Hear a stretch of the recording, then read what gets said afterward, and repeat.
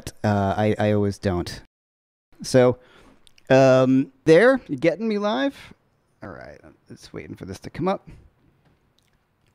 I'm going to look kind of crazy as I wait for this to, to go live. All right. Um, I see the chat.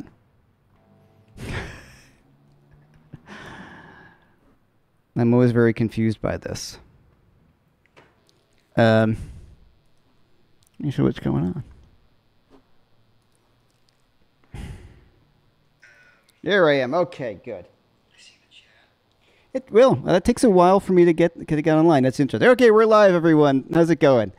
Uh, thanks for joining me today.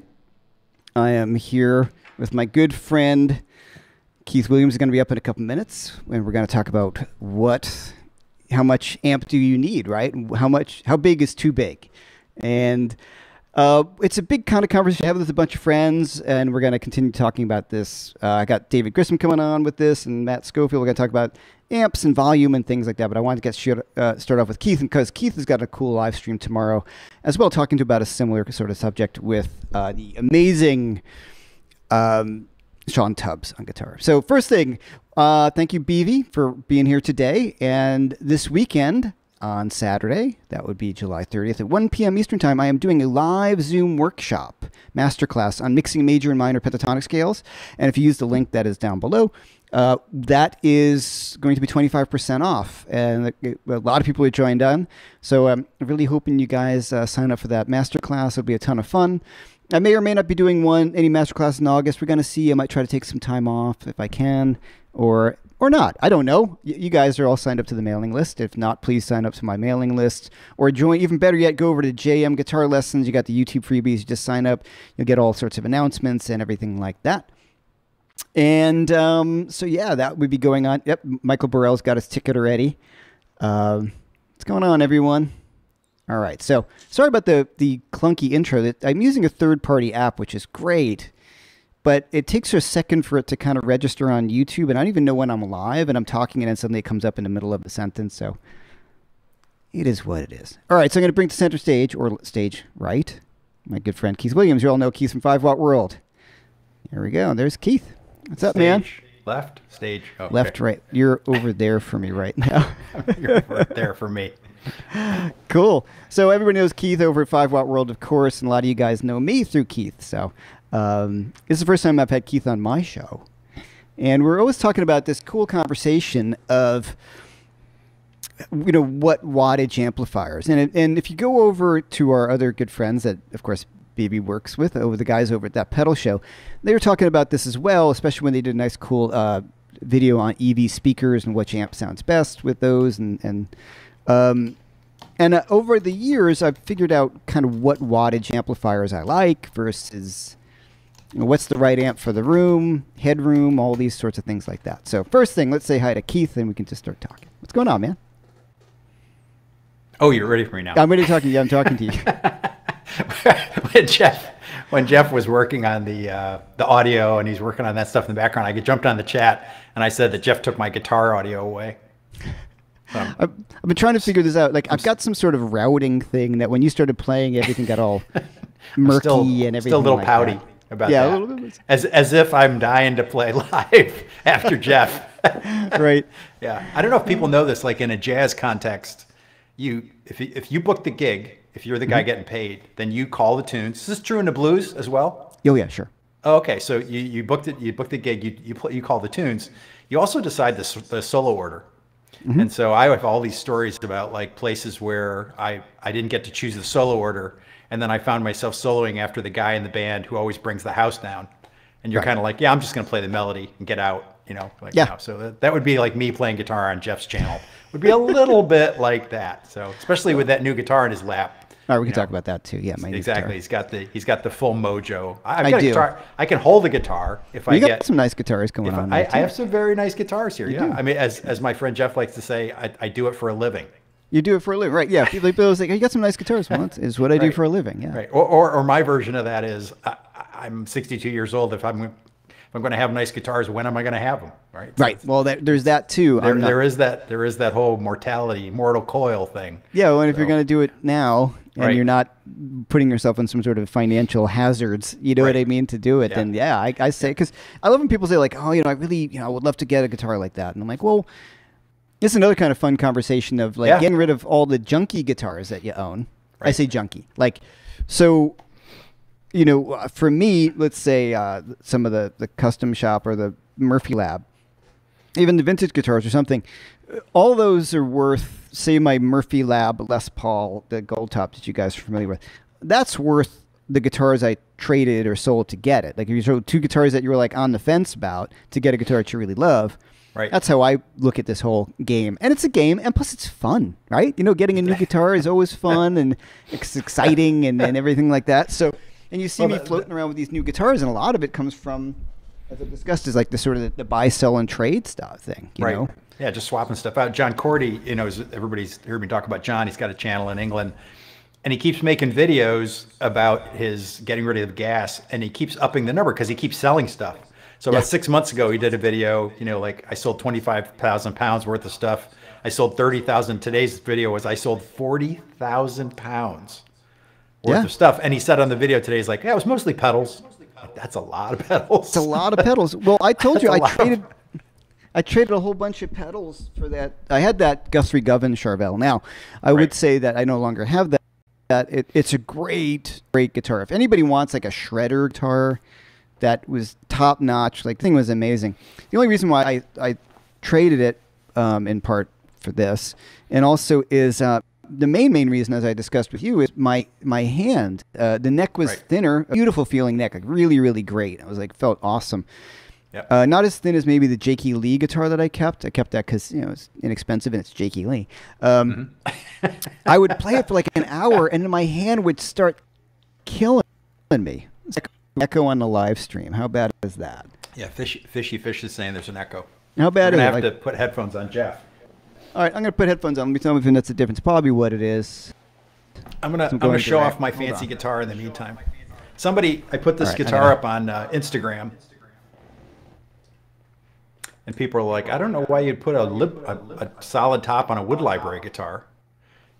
And so I was like, "Well, you need to look at the back to know why you'd put a wood library guitar up with a solid top." I'll hold the guitar just you know Right. as a prop. I'll feel How- more. That? Is the echo gone? That's a beautiful I don't hear guitar. any echo now. Okay. It's a nice guitar. It's a DGT. It's David's fault. It's your fault It- by extension. It, it's my fault. I know. It's your fault because you got David on my show, Mm-hmm. and then and then I had to admit out loud to David Grissom himself that I had sold my DGTs. So when this came in used at uh, at Ish Guitars at the local boutique store, the boys were like, "Hey, I heard you say this. We have one of those. You should get it." So Don't you love? yeah, yeah. Okay. Well, I love. Uh, we're not bandwidth. It is okay. The echo's on. It seems like okay. There's no bandwidth issue. It's um, I think it's the the, the bounce back because I was going through monitors and if I'm Yeah. using uh, okay, there we go, back. Um, all right. So the, the the main conversation as opposed to our really cool guitar. Sorry, I cut your. Let's talk about that guitar for a second. So, what is that again exactly? You don't know about this. If we didn't lose Yeah. everybody else that wanted to really show up, we talk about amps. This is a, a PRS Yeah. DGT wood library guitar with a custom platinum run top. Um, but you can see that it has a really nice top, but it's got a maple, flame maple roasted neck and a crazy, really nice mahogany back. Um, and it has this DGT neck, as David's neck, and it's just it and it has an oil finish, so it feels like there's no finish on it. And I'm actually working on a short, excuse me, a short history of Eddie Van Halen's guitars, and of course Right. his necks had nothing on them, just sweat, you know, the sweat finish. Um, so, so yeah, so I so I got this um, from the boys at Ish. Yeah, yeah, yeah. Excellent, man. Actually, around the same What's time. I, I, I sold a bunch of amps. So um, it weighs uh, eight pounds exactly, which is exactly, this is David's spec. This is exactly, when I asked him so what, what his favorite years were, um, he said he loved the 2010s and then the brand new ones. Great. Um, they they actually have tweaked the pickups because they ran out of the original wire. I, I could do an hour on this crap, so don't get me started. So um, Okay. but David feels like the guitars have changed back. They have the new not the little knobs again. Um, mm-hmm. It's more like the original spec, except this one has a maple neck, which gives it a little more snap. So, yeah, cool. I'm very happy with it. It, uh, Excellent. it haunts my sleep. Yeah, it's it's beautiful. It, it's great for DTC. testing big amps. So let's talk yeah. about that. Okay, so the uh, the amp question of today, um, and I was saying a little bit before I got all this technical stuff going on. Thanks, guys, for, for bearing with us. It's, it's really tough being the uh, the performer, the especially when you're doing a, a live stream where I've got it when it's just me, I've got it pretty nailed. But when you bring in somebody else, there's all these other variables that suddenly come into play that make it like it's like surfing, you know. You're like, oh no, yeah. is it got to have a tight rope, tight rope today? All right, so um, one thing I was having this discussion with with Corey Congilio just uh, the other day, too, about the headroom and the size of amplifiers and what's too big for a gig, what's the right thing for a gig. So for me, one thing I've discovered, um, the kind of amps that I like the most at this point in my life are like the Two-Rock style, which would be kind of a bit more of that Dumble sort of school. And I heard Mick talking about this over in that pedal shows. I like a really high headroom amp now, like lots of clean headroom. Um, so that generally is going to be something that's a bit more higher wattage. So um, that's all relative. What is higher wattage? So it comes down to clean headroom is what I'm looking for. So if we look at say the amps behind me, I've got my little you can't right there. I got the combo, the studio, the studio signature. You should say you should say the wattage as you go because I'm already laughing because you go. I got my little amp. Okay, little amp watts. at 35 watts. Okay. All right. Okay, here's the thing. I've done gigs with like 18 watt amps. I can't do it. There's no headroom. Yeah. So let's just talk about that. So 18 watts, if you're in your house and you're plugged in, that is loud. You know, 18 oh. watts can be really, really loud. People are like, oh, you know, is that going to be loud enough? And uh, it was Jason Laughlin. He bought one of those 1984 X's, the Marshalls, which sound amazing. It's like a little mini blues breaker sounding thing. Amazing yeah. sounding amp. And um, I just said, yeah, until you get on a gig. He's like, no, it's gonna be great. I'm, it's cranking loud. I'm like, no, no, no, no. I I had one, you know, and I did one gig with it. and I'm like, I got to get rid of this. Like because because you you you topped out the compression and everything, and it's just there's nothing. There's no more. There's, there's no more to go anymore. Yeah. Right? So what? Well, and we were talking earlier today that that's a and and your world of gigging is very mm-hmm. different than because I was saying how you said um, Brett Papa got one of the new 20 watt Studio Origins mm-hmm. uh, not Origins, uh, 20 watt studio Marshalls that are doing in England. And people love those. And I said, yeah, Peter Stroud uses two of those with Sheryl Crow, one for mm-hmm. cleans and one for crunch. And then he pushes it. And you said that Sheryl famously has very, very low volume on stage. Right. And you're talking about, you know, world class level PA. That that's not the city winery.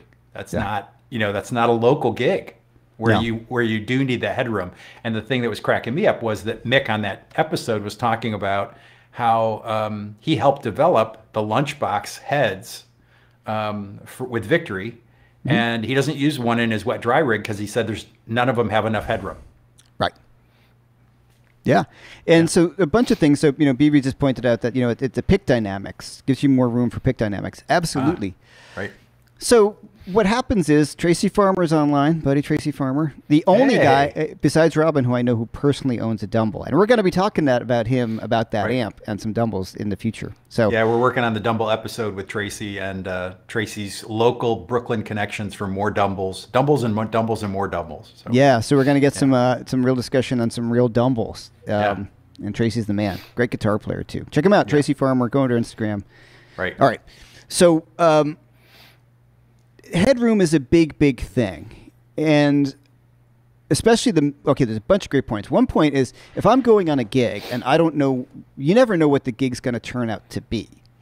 If you're plugging into like you said world class pa with rehearsals with a monitor guy and you have in-ears and there's total control you can use a, a, a fractal. You can use anything you want to get right because if you have the amp at low volume, it doesn't really matter. If he's so if he's running a Marshall 20 watt classic clean, that's pretty low volume because there's not a lot of headroom on those. I mean, it's at your house it would be loud, but on a right. gig it's not going to be loud at all. So it doesn't yeah. matter. They just mic it and run it through his in ears or the monitors, so it's good.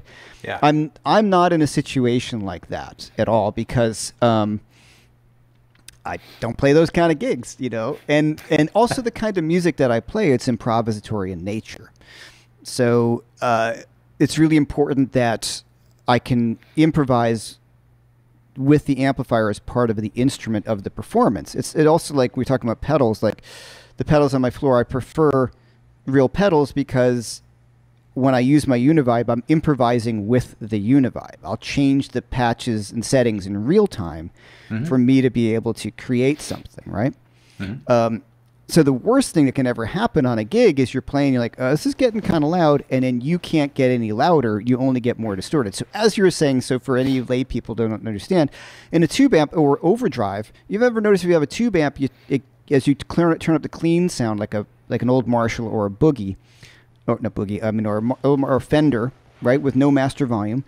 You turn it up, and it gets louder and louder, and then it starts to get more and more distorted, and then it kind of shelves off, and you just get more and more distorted, and you don't get any louder. So you lose your headroom. So that you're compressing, you're getting more distortion, which might be cool, but you don't get any louder. And then if you step on a boost pedal, you just get more distortion, and you don't get any louder. Right. So that's one of the main things that I've kind of figured out um, through trial and, and, error on many gigs, where you're like, yeah, I had I went through a bunch of amps in New York. I went through a um, a Suhr Badger, like the 18 watt. It was a really mm-hmm. nice sounding amp until I went on a gig and some guy had a, a deluxe a Hot Rod DeVille and he just destroyed me. He buried you with his 45 watt DeVille. Or 60 are they? 60? Yeah, and then just he had a telly and it was like chank and I'm like this soft and now we're not talking no this other thing to get into is frequencies. And that's a big big deal too but that well that right that's when we're going to start talking. We'll, we'll save that till a little later when we talk about how loud an ac30 is at 30 watts versus something else. Yeah exactly. right, right. Yeah. we'll come back to that right. Yeah so um, which, is, which is part of the badger thing. Right and so right. so the, the, there was no headroom so I just started playing louder. He was getting this band was loud and loud. The guy was a loud player. I'm not a particularly loud guitar player. I'm very conscientious of the guitar being the right volume for the gig.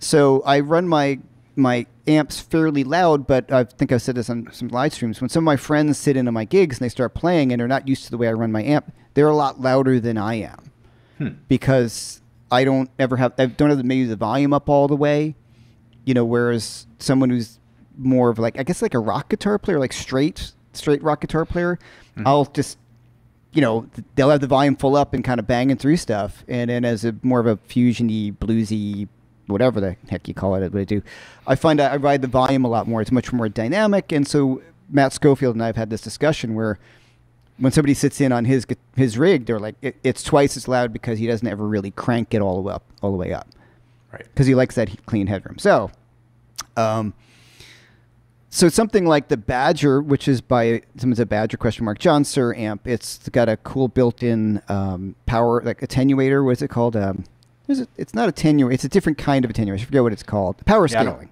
Yeah, and everybody says the Suhr is one of the best. Yeah, and it is a great sounding amp. And I know Mike Landau was using him on the road with um, for a while. He was using on the road with James Taylor. Once again, a very low stage right. volume gig. Sure, but he's there. He is with an 18 watt Marshall style amp. Yeah, right.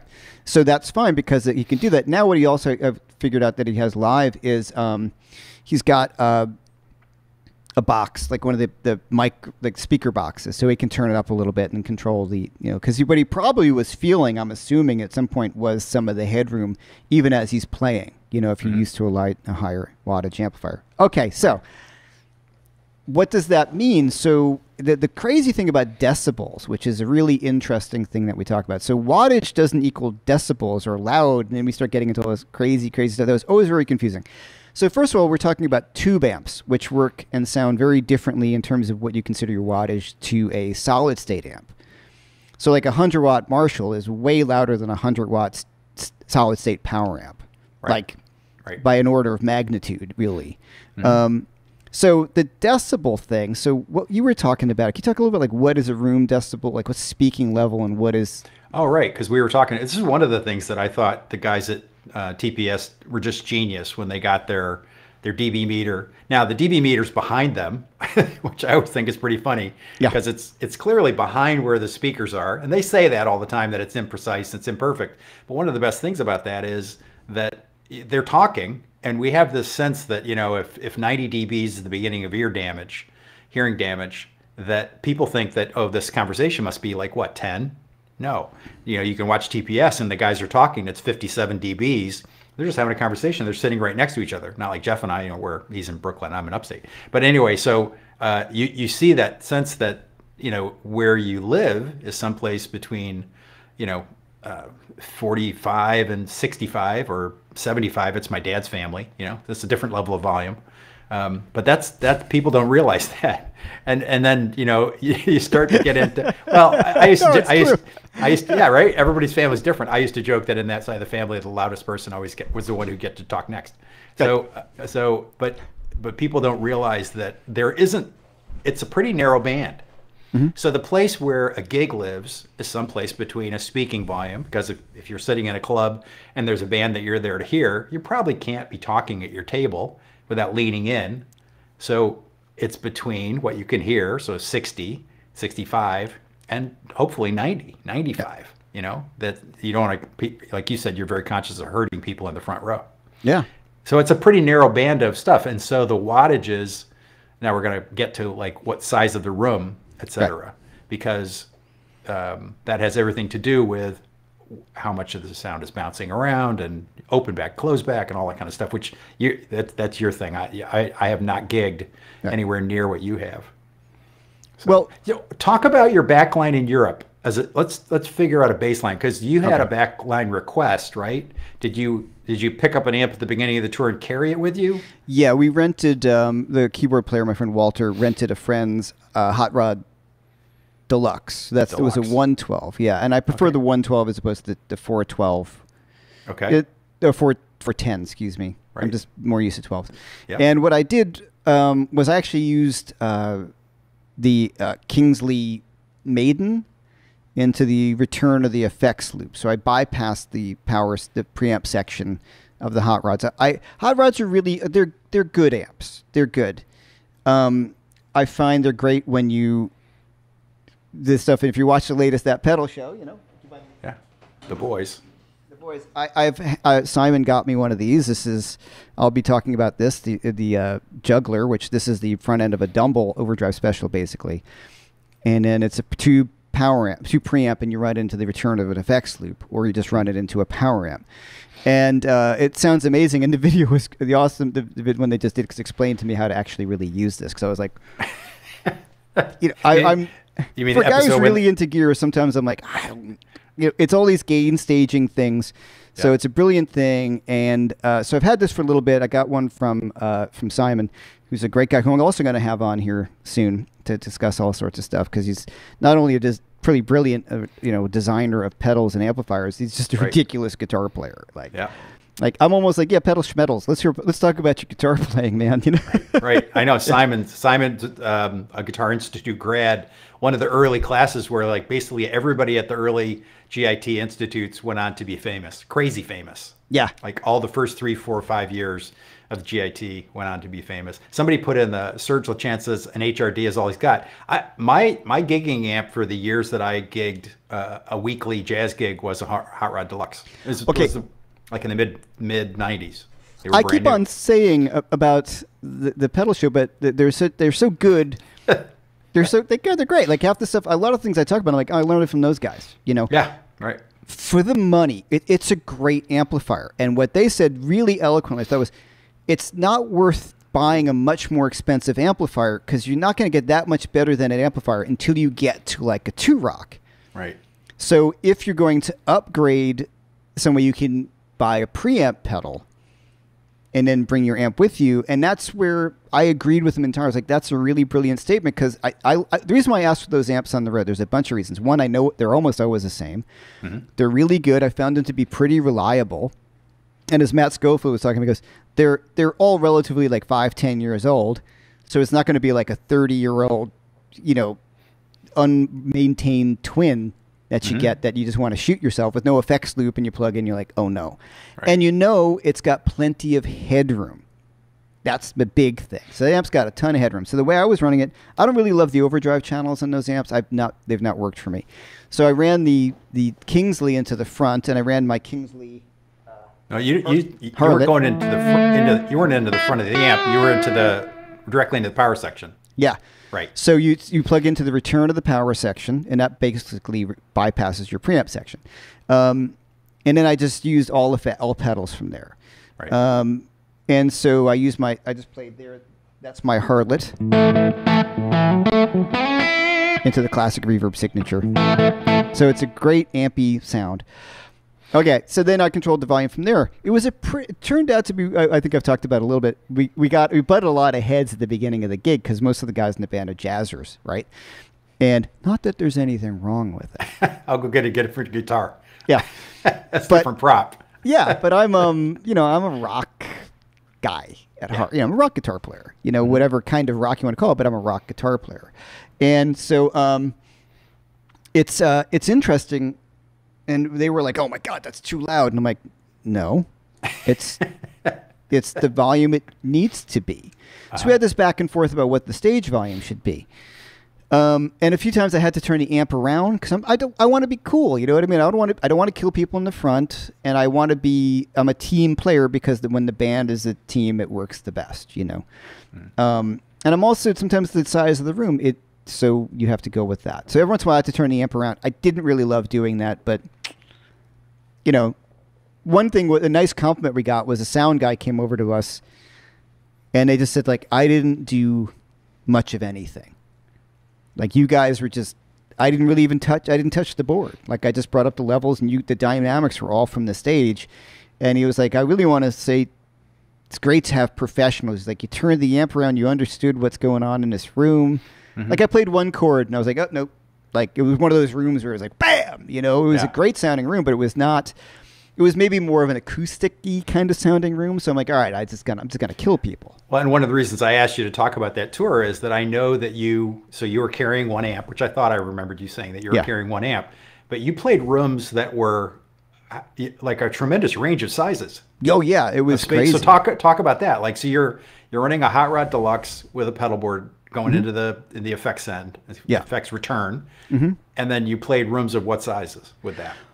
Well, we played rooms from like you know 150 people, like uh, you know, like where people are at tables eating. You know, so I guess if you've been to the Iridium in New York, like that kind of room, like it's a it's a listening room. You know, like it's that People are was there those- for the music. Yeah. Yeah. And we played some theaters, which were huge. Like, you know, like, well, it's a 500 seater. I'm like, 500 seater?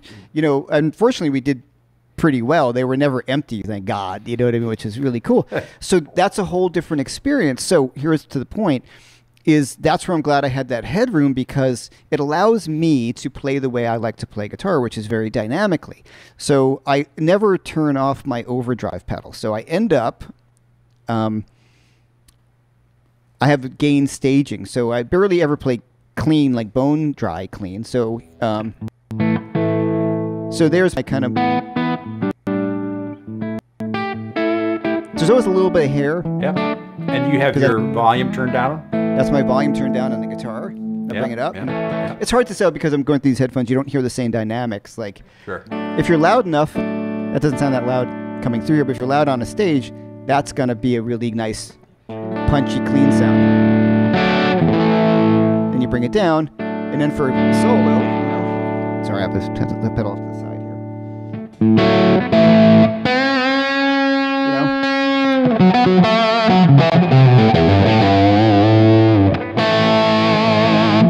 Right? So I can control everything, and what it gives me to have that clean headroom of that power section is I know what's going to happen every night then. Right. So if the room is really big and the band's getting really loud, I have the, the horsepower in the amplifier. And this brings me to another point of how I end up gigging in New York quite a bit. That's where I was going to ask you to go next. Yeah, is I always assume I cannot get overdrive from my amplifier. I run, I mean, I can a little bit. I got the Two-Rocks, but then you're dealing with effects loops. Okay, so this brings me to all these other questions and, and, and things like that. So, um, I'm just, I used to kind of think about effects loops and running stuff. And I remember David Grissom at a workshop. Uh, so I'm like, what about effects loop? He's like, Nobody uses effects loops. right. Every, every Nashville guy. Yeah. You know, we both know Zach Childs, and we all watched. We're all fans of his True Tone Lounge Yeah. episodes, and um, inevitably, he's like, "So, do you, were you going into the loop?" And he's even talking to guys in the '80s, and he's like, "Yeah, nobody, nobody goes into the. Everybody's in the front of the amp. Yeah, nobody uses effects loops. Yeah, Nobody. nobody. uses effects. Um, the reason why I don't, I might put like um, a reverb in the effects loop and leave it on the top of the amp and be done. But I'm not. I don't want to deal with four cables running to the front of the stage, and Right. so what I end up we have been doing a lot with the um, and as BB says, not all effects loops are equal, and that is a huge point. Sometimes you plug Right. into one and you're like, you're like, this sounds terrible. Which, which is one of the reasons people don't use them because you're going to show up for backline, and and you know um, the guys again TPS they were talking about amps like the Matchless Mm-hmm. has an incredibly hot you know the old HD30s had an incredibly hot loop. Yeah. Like and there's no way to dial it down, so you're going to put something in there and it's going to completely slam and you know give you this awful signal back from your delay. Right. So your analog delay especially. Yeah. it- Yeah. And then there's the issues of say like people ask Robben all the time, does he use the overdrive channel in his boogie? I mean, his boogie. Jeez, why am I saying boogie today? In his Dumble, in his PV Classic 50, is he using the overdrive? You know, in his PV, in his Gorilla, in his Rage or whatever PV Rage. And it's pig nose. Yeah, it's big nose. Um, he doesn't use the effects loop in that because, first of all, for the Dumble, you got to use a Dumbleator and all this stuff, and then uh, there's no reverb in the amp. And then we go to the overdrive channel, it boosts the reverb too much. You're hitting the front of it because it's a cascading situation. and it's a shared EQ section. all these things. Right. So what I end up doing is um, running my amp pretty much clean, right? And using pedals. And we live in the age of amazingly good pedals. Right. You know. And when I say running my amp clean, it's running it's doing it it's sort of what it's designed for. So at least it's Two-Rocks like you can get overdrive from the, the Bloomfield and all these things, but the way Matt Schofield is running his his Two-Rocks is really loud, but he always has his overdrive on on the floor, and he just uses his volume, goes back and forth.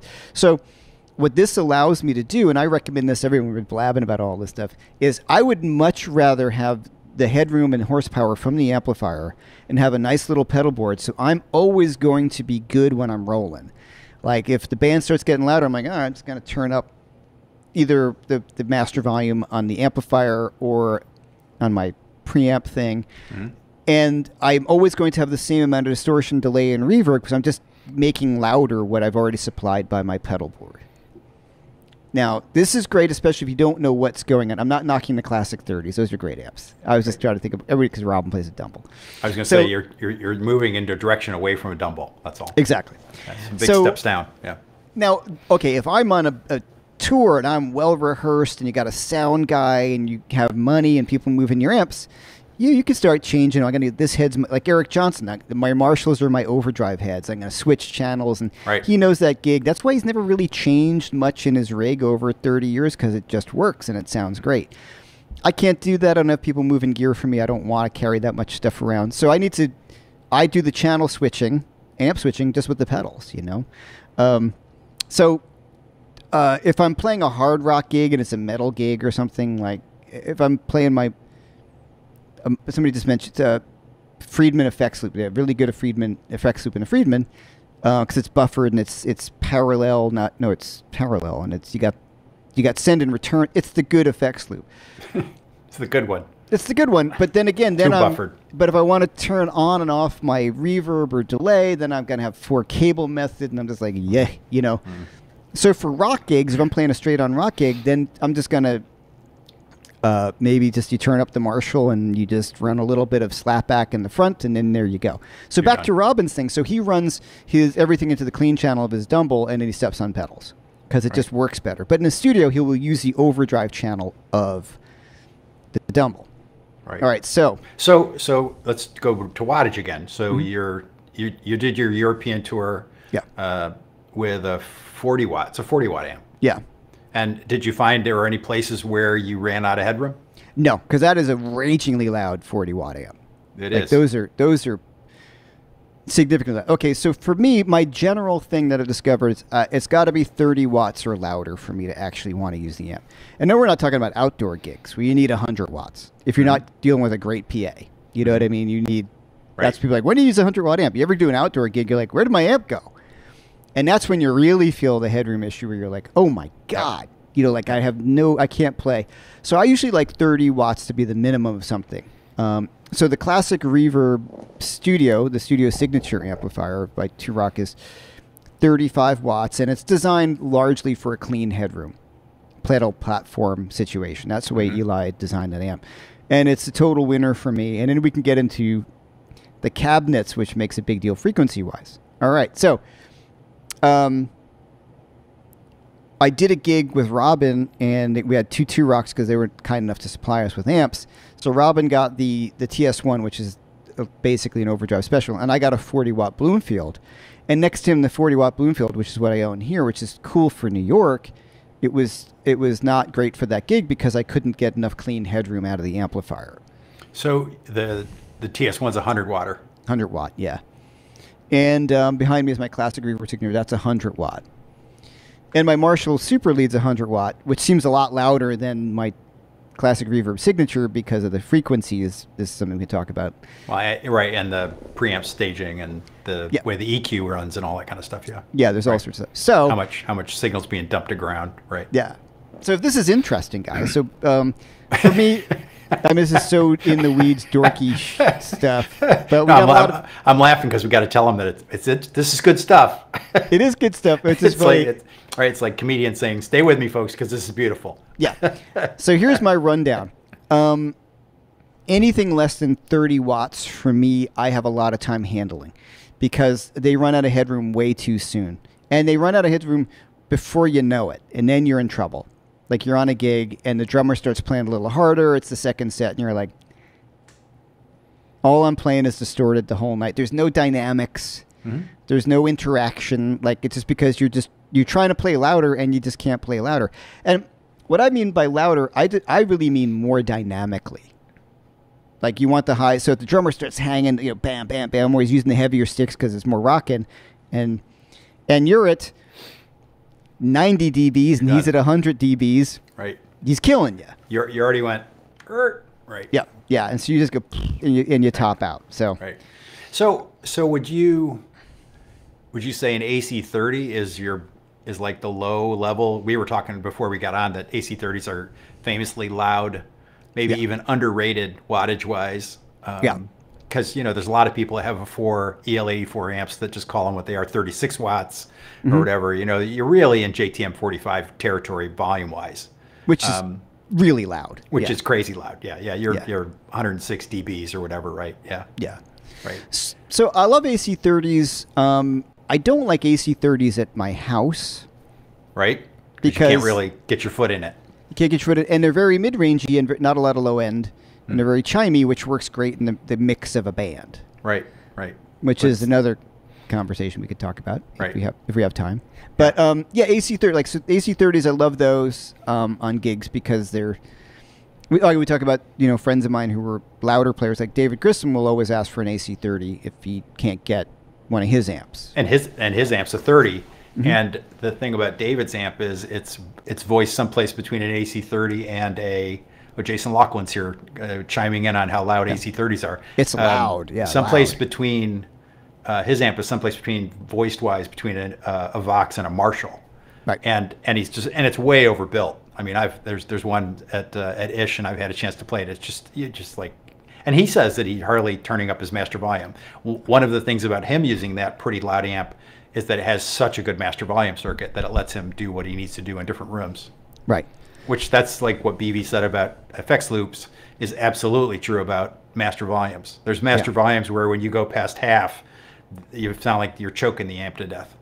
Or or when you go "Hoop, hoop," like like famously on some of the eight, Marshall 800s and things, you like boom, like you turn that master volume and it jumps from like zero to you're trying to find that spot. and Tiny little.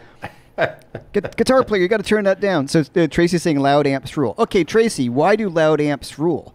Because okay, let me talk about Tracy for a minute, which is funny. Like um, this was his guitar. This was Tracy's I was going to say guitar. let's let's get this out of the way. All right, this was Tracy's. Then it was another mutual friends of ours. Then it was another mutual friends of ours who was uh, the owner of Two-Rock, Eli. Then it came to me. So the three prior owners to this all traded out for other things like vintage guitars, all these kind of things we talked about. I remember when Tracy got this, he's like, "Man, this guitar is amazing," you know. And, It is and- And whenever whenever my friend Tracy says something's great, then it's great. Just like we talk all the time, and It- it- Tracy has a reason to know. uh, yes, and he also when he when he grabs, he can do things I can't. Like he's got a house and I got a place in New York, but I can't sit there in my practice room and go, Pshaw! you know, like, Right, and you know, right. crank it up. I can't He's in do the that. yeah. yeah, he's in the country, so he can do that. So Tracy just put headroom.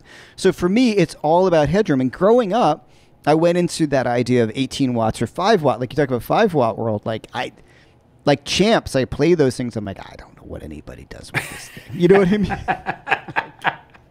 now I know they record well, and Eric Johnson just recorded that new version of "Sitting on Top of the World." That's tr- recorded with a champ and all Oh, that. Yeah, yeah. It's not, but it's it's not my favorite Eric Johnson tone. I mean, it's great. It's Eric Johnson, but Well, and, okay. and you and you, we've said that when I bring that up, you're like, Michael's- yeah, well, you're like, I hate those tones on on the Derek and the Tom I do. I know. I do.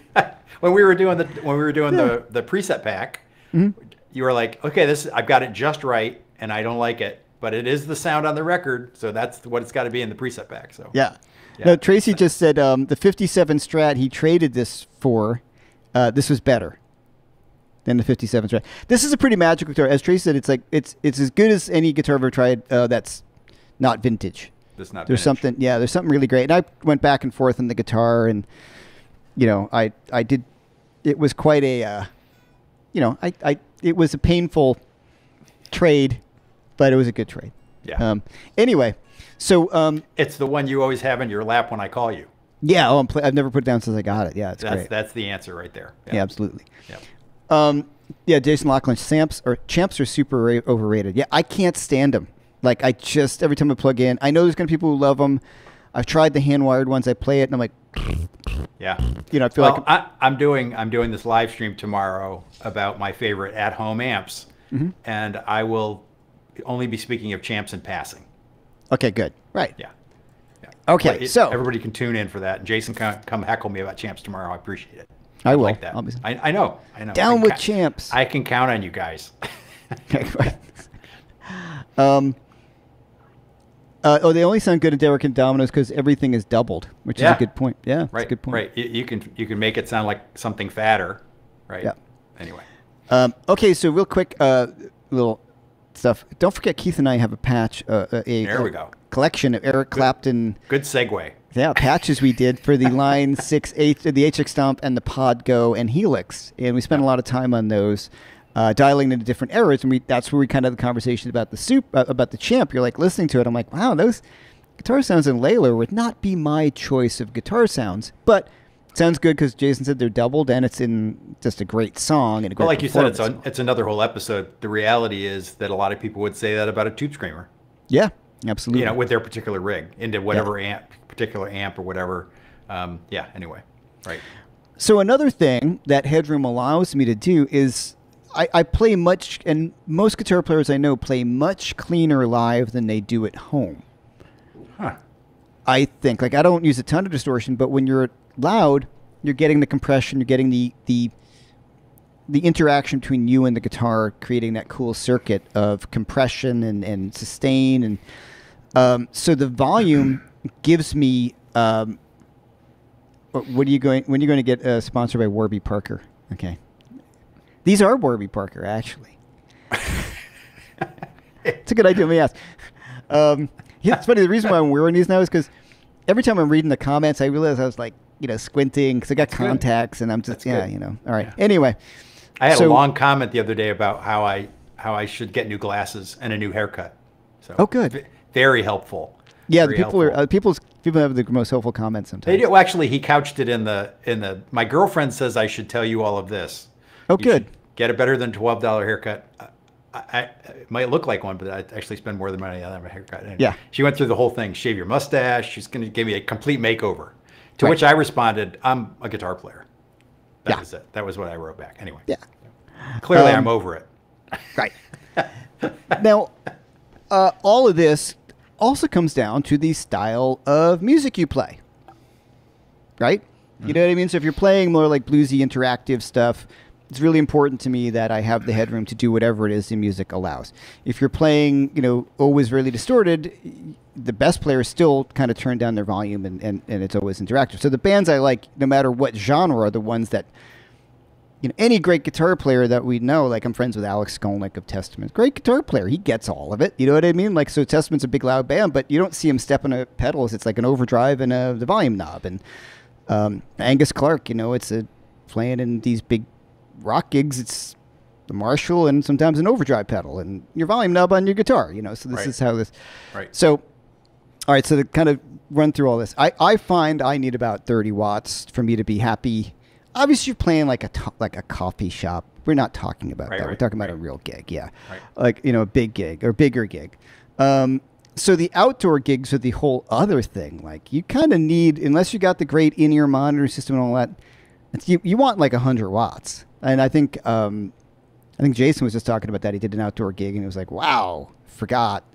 Right. And I said, yeah, Well, you know, when I when I used to gig the eight, the Hot Rod Deluxe, Mm-hmm. when I first got that gig, I had these I had these delusions of grandeur of Pat Metheny-ness, and I thought I needed stereo, so I bought two Hot Rod Deluxes, and and I I had them for twelve or fifteen years because all of the club gigs I did on HRD was great. They would book us for outside. I would just Mm-hmm. take them both, Yeah.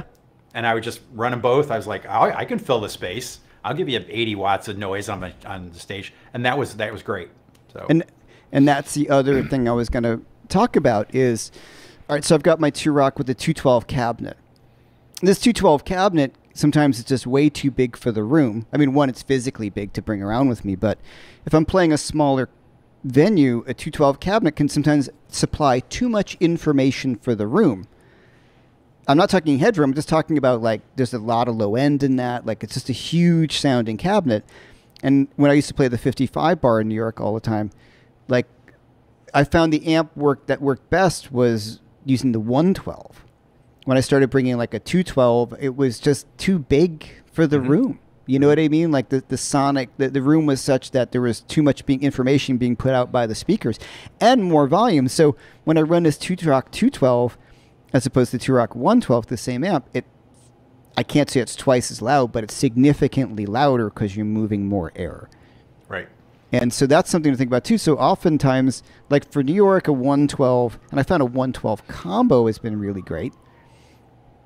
Um, I generally was like a head and a speaker guy, head and a cab for certain amps. But once I started messing with this, this especially this Two-Rock I have, there's a mid frequency in the smaller cabinet that in a gig appears louder because you're pushing through the mix more. You got this focus. Yeah.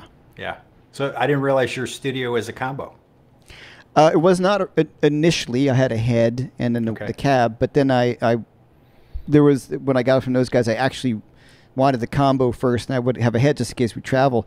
Yep. Um, and so then they sent me the combo, and I, I put in um, an Eminence, their EV, like the Neo EV, so it's a few pounds lighter, and Yep. I used it the other night, and I'm like, this is this is the amp I've been looking for my whole time in New York. Like, Mm. tons of headroom, takes pedals great. If I want, I can kind of crank up the input section and get some breakup from the amplifier. Yep. It's got reverb built in, Right. so right. that's a really great. So, but if, if I'm gonna hit a huge sta- sorry. No, go ahead. I was just going to bring us back to the how much is too much. So so 40 is enough, and your 35 studio is probably probably it's a pair of 6L6s. Yeah, Yeah. So it's probably modestly rated. Yeah. Shall we say? Right. Um, what? So what's too much? Not to carry, but like, what would be hard to wrestle with at the bitter end from Okay. the stuff behind you? my my Marshall Super Lead. Really? Yeah, even with the master volume on it, like, and it, this is where we're coming down to it. And and BB just talked about frequencies, right? So it's a frequency thing. So, um, Jason Laughlin still on here. He did a, does a Zeppelin gig, and yeah, so yeah, you should borrow my Marshall because you know it's the amp that Jimmy Page used. you know, Yeah, super right. bass actually, but you know, um, and he was like, oh my god, like. You know, and Tracy just bought. oh wait. He so he did use the Marshall. No, he couldn't. He Oh. decided because it's a beast. They're beasts. Like, and then Tracy's got this. Um, uh, he bought. Okay, I, I chose a super bass for Robben, a hundred watt super bass. Oh, you picked it She- out, right? I picked it out. I found it in New York. I tried it. It was an amazing sounding amp. I remember the um, story. Yeah. Then he used it on a few gigs. Like, man, this thing is too freaking loud. And for him to say that, because he's like the loudest guy in the world. Right. And then Tracy ended up getting it, which is great. And he's like, this thing is just too loud. Like, and so, um, Too loud for Tracy. That's Yeah. a new phrase. That's So a the- T-shirt. That's so a the T-shirt. Oh, Tracy, I'll be putting those in the store. Everybody, Yeah. those will be in the store next week. Too loud for Tracy. as Jason just put, not usable in 2022. So in, in many ways, yes. So this thing is so loud, and it doesn't really do its thing the way that the power amp section is. And one thing I found out, thanks to Simon Jarrett on that pedal show, I know a fair bit about amps, but a lot of the overdrive from Marshall is- apparently comes from the phase inverter.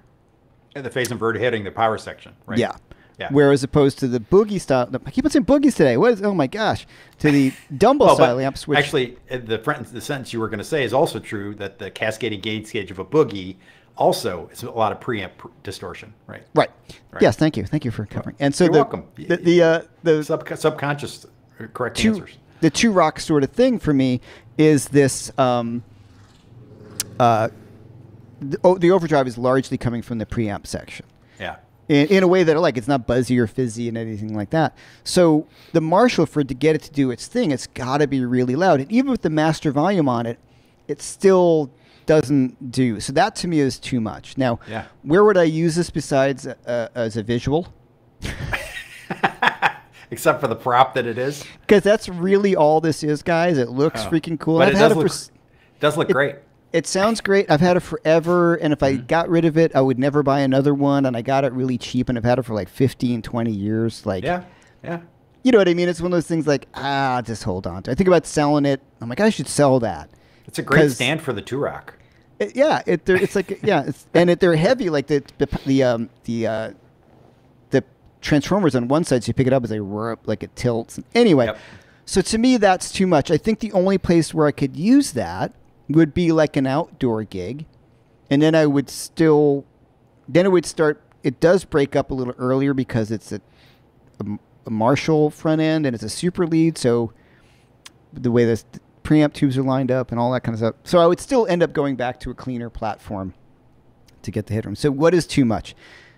100 watt Marshall super lead, super bass, way too much. It's But a just, hundred, but a hundred watt um, Two-Rock gives you all of these. You have so much control over gain stages. I don't know how much people know about Dumbles. I don't know that much. I don't have a ton of experience, although I did build a five watt ODS back in the mm-hmm. day with, and I and I still have a Dumbleator, which, which goes with my Champ. But the the reality is, you have all these different gain stages. What you're really doing is balancing where your distortion is coming from. How much is coming from the preamp? How much is coming from the phase inverter? How mm-hmm. much are you sending to the power amp? You know, Robben plays loud, but he'd be the first one to tell you that his master is pulled way back too. Yeah. Uh, in his rig rundowns, he talks about that. Yep. And he's still loud as Jesus. And, The- the- I- the I've seen him a bunch of times. Yeah. Right. Well, BB's just saying, like, fishy fish. My friend John Bohlinger, you know, from uh, yeah. Premier Guitar uses a 100 watt katana. Yeah, well, it's loud enough, but my 100 watt super lead would just decimate that. Like a Oh, 100, yeah. a 100 Yeah, watt yeah. tube amp. I mean, this is what like Eric Clapton used to fill Royal Albert Hall. Like Yeah, two of these. Like there were no PAs really that would were handling it. So Right. this is yeah. So there's a difference. 100 watt, you know. Um, you know, okay, Joe Bonamassa, is using these 100 watt amps. Yeah, because he's got them cranked. up. maybe Tracy. I've not been on Joe's stage. Tracy has been on Joe's stage and played his gear.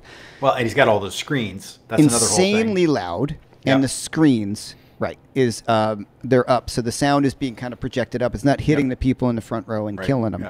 Yeah. yeah. Um, Steve Moore says 100 watt solid state is not a 100 watt tube. That's true. We were talking before the stream earlier today, um, actually during lunch, and I was saying that um, the reality is I kind of double the wattage. Like these, I got a pair of Catalyst um, 60s to run in a wet dry as an experiment, and frankly, so far these Line 6 Catalyst amps, I can't believe how much you can get in gear for so little money now. This I is like a it's like a pair of pedals.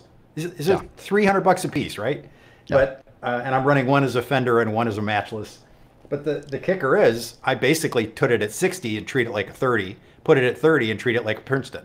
You know, because Yeah. that's that's about right. It's it's about half uh, the the solid state watches, and I'm sure Bohlinger. I, I'm, I'm actually I should tell people I'm planning a trip to Nashville. I'll try to get a hang together uh, while I'm in town because I'm definitely going to hang out with Bohlinger and Sean and some other people that I've worked with and never been in the room with.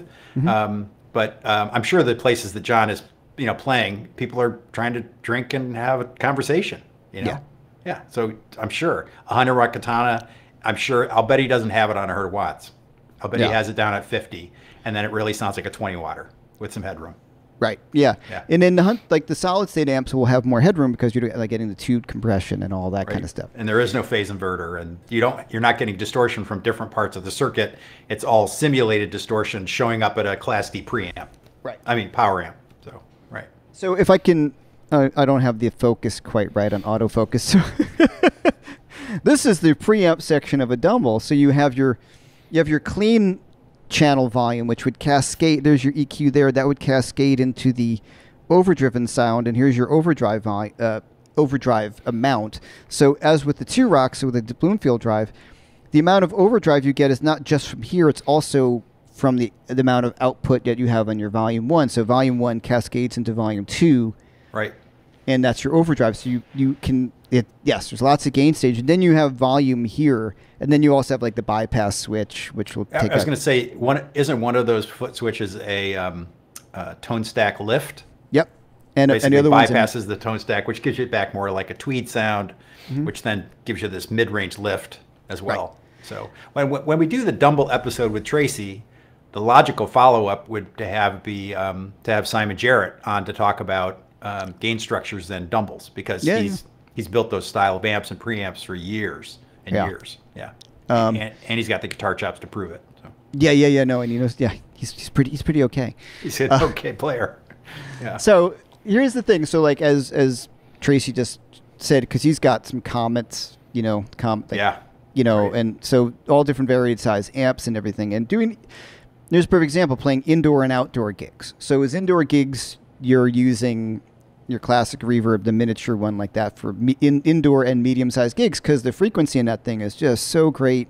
I was blown away with how good it sounded and how it filled the room. Mm-hmm. And then we're talking about open back. It's open back, open back versus closed back. You know. Okay, Right. so and then for like a bigger gig, you're talking about outdoor. I would, if I were going to use that head, which I would feel comfortable doing maybe, but I would run it into the 212 cabinet. Right. Or I would just bring the 100 watt, and then that's got a 50 watt switch in the back, and you could start to kind of run the volume. You got to And figure again, and again, the 212 cab to move more air. Yeah, and that fills up a lot more space. So to answer, answer all these questions, uh, okay, we're talking about Two-Rocks, and these are crazy expensive amplifiers. I Right. know.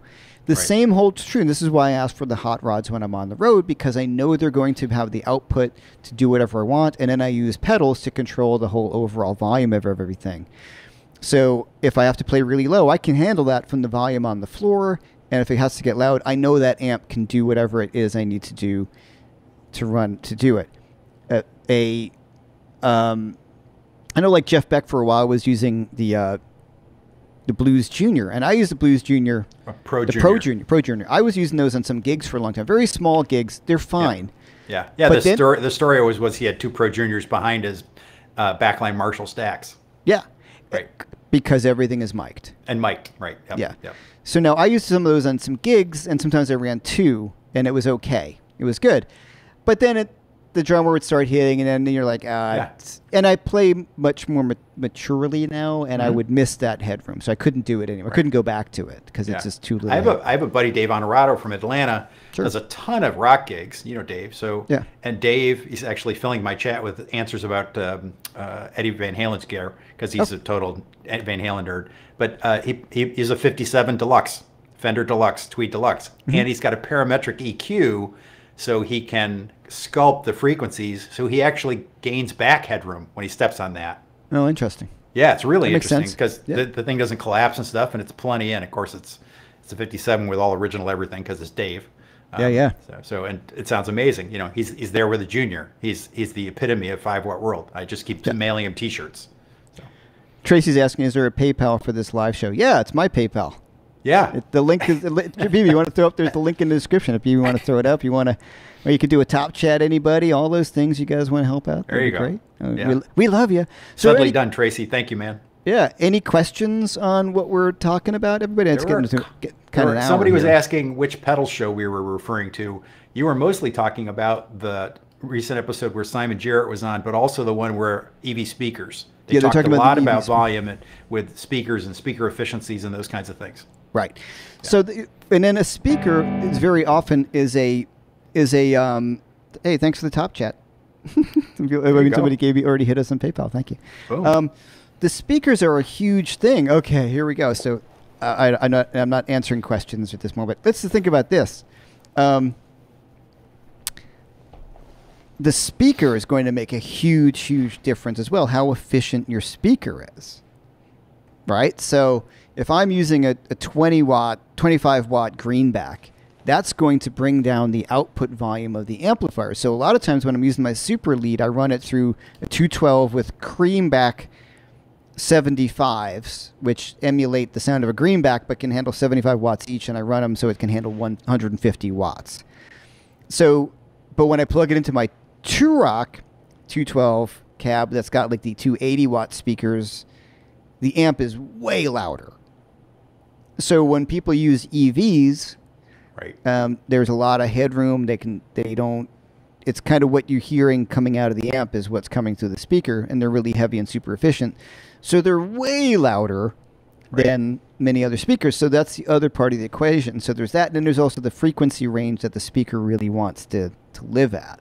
Mhm. So it, it kind of gets you down, down deep in the weeds, but if, just to simplify everything, um, I know I was we're talking about crazy expensive amps, but a hot rod or, or the like.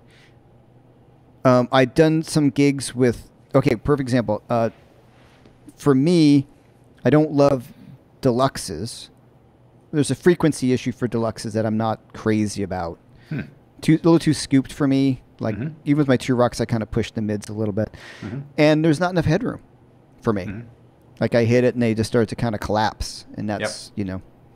Um, So to sum up, it sounds like um, 30 watts is the bottom, is Yeah. the floor for gigging and really kind of most of the stuff that you do. Yeah. 100 is too much, but it depends because there's 100 watters that give you lots of control. Mm-hmm. And then it sounds like, you know, and as we all know, because of multipliers of tubes, there's a big there's a big chunk of the 40 to 50 watt, you know, an- two 6L6s, two EL34 amps, and that's an easy place to live with some headrooms. So yeah. yeah.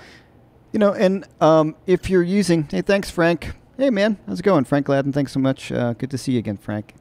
Um, there's also, as you were saying, like six v sixes just distort and overdrive differently, and they have different amount of headroom if you're using two or four than than you do from two six L sixes. So uh, this is for EL four six four six v sixes. This one. Oh, the, Um, Bloom, the Bloomfield's 46V6s. It's a uh, the 40 watt, 40 Uh-huh. slash Oh, 20, right, right. and it's really really loud. Um, I prefer the oomph and that the two 6L6s gives me a little bit more um, right. low end, you know, and girth and ass. what I say to you earlier, the junk in the trunk. I'm like, yeah, Yeah, I, the- I, I can't make that work. No, it can't work that work. It I'm, gives you a I'm too, more I'm too upstate for that. Anyway. Right, yeah, right. Yeah, right. Thanks, Steve Moore. Okay, so Steve Moore, a question. Um, hold on. I can bring these up. I keep on forgetting. Steve's right. Steve is saying um, you never know what you need until you're practicing with a band for a Yeah. while. Yeah. Okay, And then the- Steve, that's a great point. Yeah.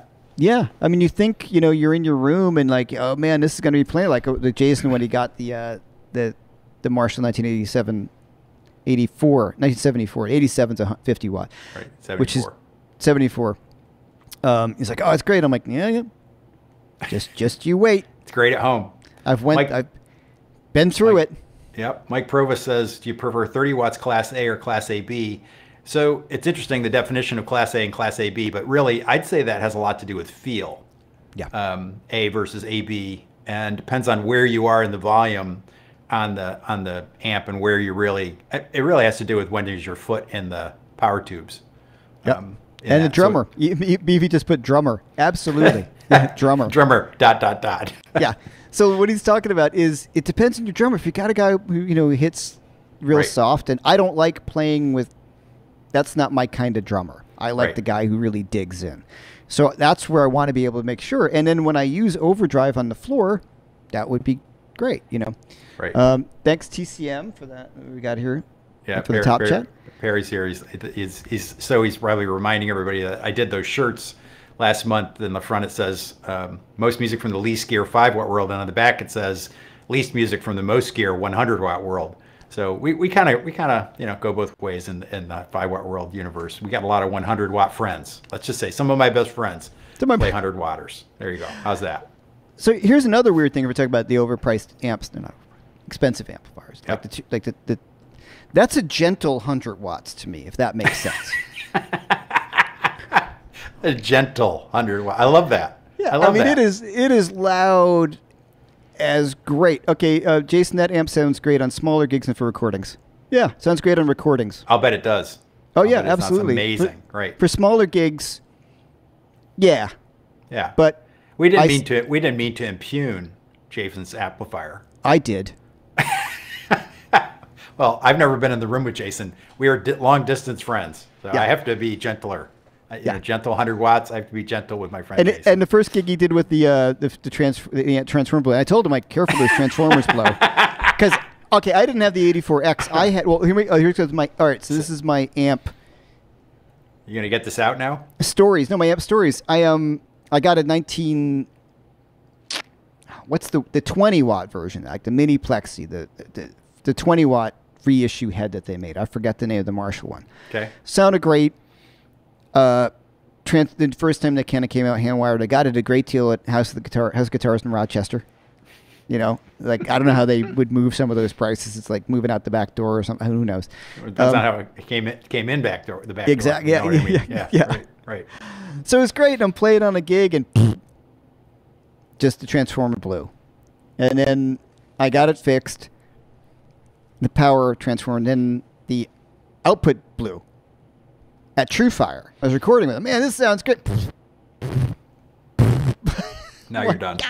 So that one was the input transformer. So all the original of that original run, the in, the transformers all blew consistently. And I remember talking to Marshall like, "Yeah, we've we've had this. We've maybe heard like it was like this, you know." So completely obvious that they're downplaying it. Yeah, yeah, exactly.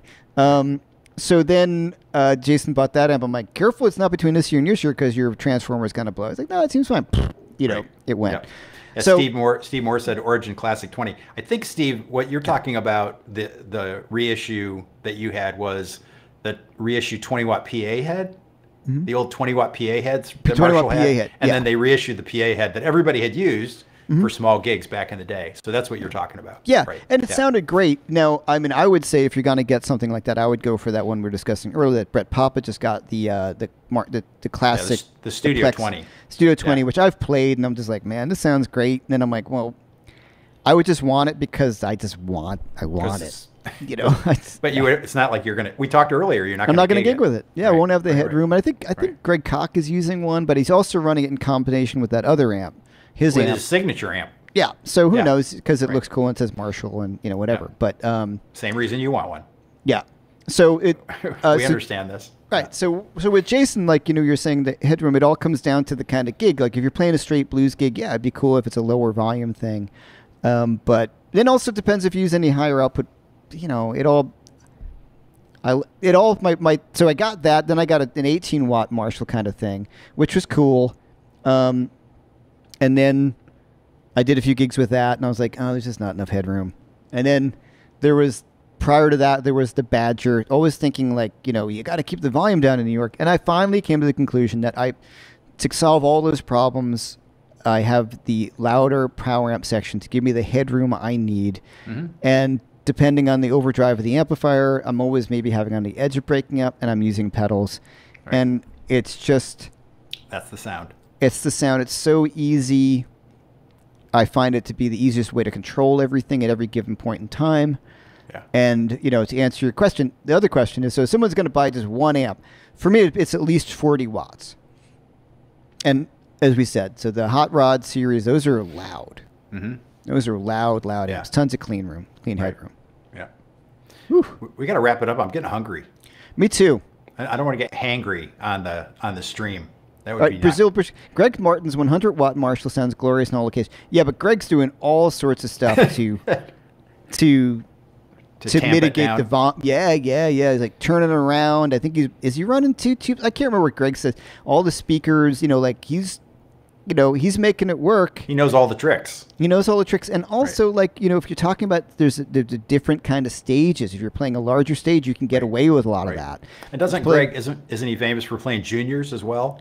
I know his old Marsh, yeah, and his his, uh, his and- Les and- Paul. Right, right. But especially the the not the the single P90 guitar, you're going to roll that way back. You're gonna that's a, that's the greatest Mm-hmm. dancing you know volume dancing thing there is. So Right. I got a Yeah, yeah. question here. Then we kind of close it. Okay. Seems popular trend to plug into some board with uh, amp models uh, rather than use an actual amp. Would you ever do this? Uh, oh, we've talked about this a lot because we're we just spent all this time with the stomp. yeah. Yeah. Uh, not by choice. Well, Um, and and you said you you you do it right there where you are. Yep. You do it for recording, which Yeah. is how most of us live. You know, with a pair of monitors on our desk. I'm sitting in front of where I sit and write. Yep. But but if the if the question is, are you going to go out and gig? The answer is no. Right. So I got some questions here, and I can answer these with experience. Um, yeah. Well, the Bad Cat is it like it's a that's like a, a Vox. So we're talking about a Vox AC30. It's not really 30. Whatever the case is, it's the frequencies those amps are massively huge and loud sounding. Right.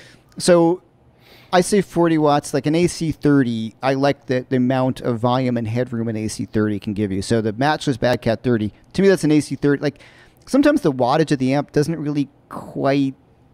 Well, the Bad Cat 30, Bad Cat, and like like other old Sampson designs, the uh, like David's 30 watt amp, hugely overbuilt transformers. Yeah, So would you say So- it's, a, it's a gentle 100 watts? This is not a gentle 30 watts. that's my point. And a, and a you know like that that's the, the Two-Rock the little one's not a gentle 30 watt, 35 watts. It's a really It's all loud. there. Yeah. Okay, you. I had a I had a dirty Shirley. I had the bigger one. Um, I did a bunch of gigs with it, and I got completely buried, so I sold it. At 30 watts. It was a 30 watt. Ye- Whatever the forty watt or whatever the forty watt, the two six was it Two I EL34s. I think it was six L sixes in that amp or something. I can't remember. And um, David Grissom used it when he played in town. He bought he used my amp, and he's like, "Yeah, it sounds great, but I can't. I'm like, get the headroom out of the amplifier." Yeah. So a spectacular sounding amp. I love the sound of that amplifier. There's a frequency that's missing to the music that I play and the gigs that I did, especially with another guitar player. Like when I was playing my Bogner many years ago, I did a gig with Angus Clark. He had his Plexi, and I had my Bogner uh, Shiva, and he decimated me. it was just like, where did the amp go? What a kind So, friend. um, Such an old yep. friend. Bill Yeah. Shulkaitis. Yeah, Bill has my. Uh, Bill is on here. He's the one who bought my Dirty Shirley. I thought it was, Nice. It was a great amp. I loved the sound of it, but on gigs, I just kept on getting buried. Like I just didn't. You know what was? I became as I, I started playing cleaner and cleaner, and I was missing the headroom. That's mm-hmm. all it really comes You're down to. the And then- dynamics. Right. yeah, and then the amp Right. maxed out for the kind of music Right. that I play. So, So, you've become too sensitive. I a player. very sensitive. so. I think on that note, yeah, I think on that note, we're good. All right, so everybody who's here, thanks to everybody. We appreciate it. Thank you so much. Thanks for Keith for joining me today for this this blah blah Always- blah talking always a about this pleasure. stuff. Always this a is a ton of fun. Um, Jason Lachlan, Tracy Farmer, he's chimed in. Bill. Um, also, yes, mixing major and minor pentatonic masterclass that is coming up this Saturday at 1 p.m. Eastern time. Uh, if you can't make it live, don't worry about it. Catch it on on the playback. Um, it's uh, I'm going to be talking about mixing major and minor pentatonic uh, scales and in blues and in bluesy rock stuff. So Allman Brothers kind of thing to start off with, and how you can use that in the blues, and um, it'll be a ton of fun. and, And- thanks to Baby. Baby, yep. And Keith and I, don't forget, we have our Eric Clapton pack. Oh yeah, our tone and pack. um, right. right. Yeah, and we're we're going to be doing more uh, tone packs in the future. It, it lets us scratch that producer itch. Um, Yeah, that's fun, and I- it was very educational. It's a lot of fun, and it, and it lets you go down the total nerd, you know, path on on these tones. And like you said, sometimes you find out what was originally used, and then you dial something else, and you you realize that yeah, when you dial in that particular tone on a record, it wasn't that amazing on the record, but in the context, it was perfect. So yeah, Yeah, Cool. Absolutely. All right. Thanks. All right, thanks everyone. for having me, Chief. Oh yeah, thanks, man. I'll talk to you uh, later. And, okay. Um, talk to you later. So you guys, thanks everyone. How do I, how do I stop this?